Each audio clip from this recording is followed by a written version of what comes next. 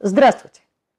Продолжаем разговор о шиповниках. Сегодня мы поговорим о морщинистой розе или розе ругозе. Роза ругоза – один из самых известных шиповников, получивший свое название из-за морщинистого листа. Помимо привычного нам названия, морщинистую розу иногда называют прибрежным цветком, пляжной или соляной розой. Такие названия она получила из-за способности расти на абсолютно песчаных почвах и выдерживать соляные брызги. Вспомните берег Финского залива. Сосна обыкновенная, осока и роза морщинистая. Вот три вида, которые вы можете встретить на побережье. А еще ее называют помидоровым деревом из-за крупных краснеющих плодов. Сейчас морщинистую розу можно встретить почти на всех континентах, хотя естественный ареал – это юго-восточная Сибирь. Причем встречается она не только в садах и парках, но давно уже и за ее пределами, вытесняя природные формы. Так, например, ей очень понравилась Северная Америка. В США она признана злостным сорняком, угрожающим местной флоре. А в Германии на одном из островов она настолько разрослась и распространилась, что местные жители называют ее зильтовой розой по названию острова и уверены, что она росла там всегда. Там она своего рода местная достопримечательность. Хотя экологи и говорят, что эта роза представляет угрозу местным редким верескам. Как у любого растения, у морщинистой розы есть свои плюсы и минусы. Давайте вытащим на свет и те, и другие. Первое. Как упоминалось выше, роза морщинистая растет на любых почвах, в том числе и на песке. Мало кто из растений может этим похвастаться. Второе. А, также касается и освещения. Видели ли вы розу, растущую в тени? В полутени – да, но в тени – вряд ли. А вот морщинистой розы – Достаточно несколько часов солнечного света. Третье. Аромат. Несомненно, это качество, заслуживающее отдельного упоминания. Мощный, сильный и очень приятный запах. Только за это качество стоит посадить эту розу у себя. Четвертое. У морщинистой розы поистине сибирское здоровье и сильный иммунитет. Благодаря этим качествам она устойчива к грибным заболеваниям и мало повреждается вредителями.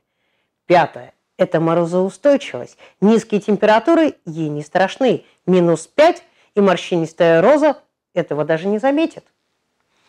Шестой пункт. Засуха и ветроустойчивость. Ну, два неоспоримых плюса. И последнее. Декоративность в течение всего года. С конца мая и почти до первых морозов роза ругоза радует своим цветением. Осенью у нее богатая палитра осенней окраски. И зимой она стоит вся в плодах. Что можно отнести к минусам?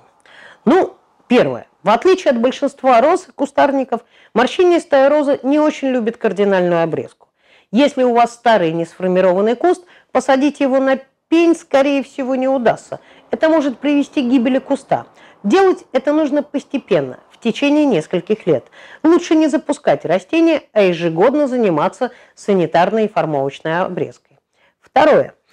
Ну, вторым ощутимым минусом морщинистой розы считается ее узкая цветовая гамма. Перефразируя слова Генри Форта о цвете машины, можно сказать, роза ругоза может быть любого цвета при условии, что она будет темно-розовой. Конечно, гибриды морщинистой розы имеют гораздо более богатую палитру, но видовая роза темно-розового цвета. Ну и третий, последний недостаток – это цветение. Первая волна цветения морщинистой розы ошеломительная.